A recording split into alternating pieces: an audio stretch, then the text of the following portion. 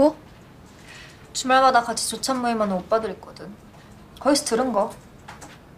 작년에 키오스크주 엄청 뜰 때 얘만 좀 그저 그랬는데 그거 한꺼번에 쳐서 오를 거래더라. 그걸 사라는 게 아니고 우리 논문 주제랑 상관 있잖아. 언택트 시장의 청소년 노동. 그래. 누가 뭐래?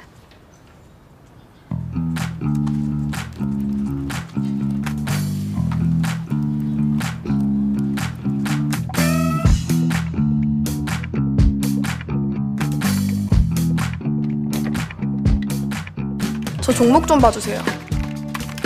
지금 알파전자 50%, BK엔터 15%, 아나콘다 제과 35%.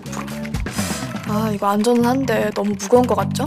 뭔 양양의 매매세요? 박스컷만 잘도 골랐네. 씨. 맛있는 녀석들도 그것보단 가볍겠다. 아, 근데 이거 변동성 크고 가벼운 건 너무 위험하지 않나요? 아, 이 장에서 한 달에 20%못 먹을 거면 정기 예금 고고.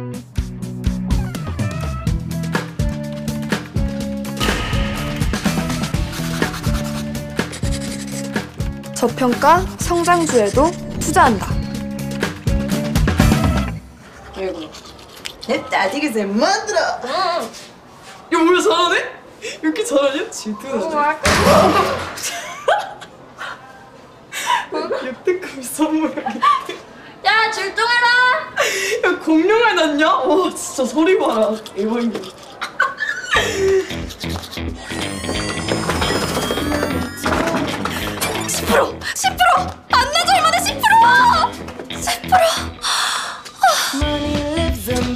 I swear. I see it in the clothes you wear.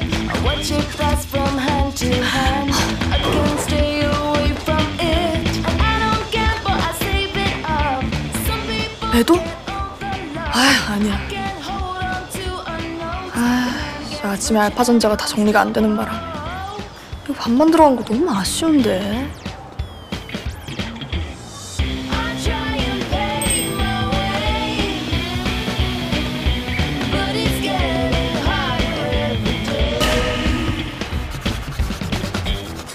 저렴한 계란은 어서 바구니에.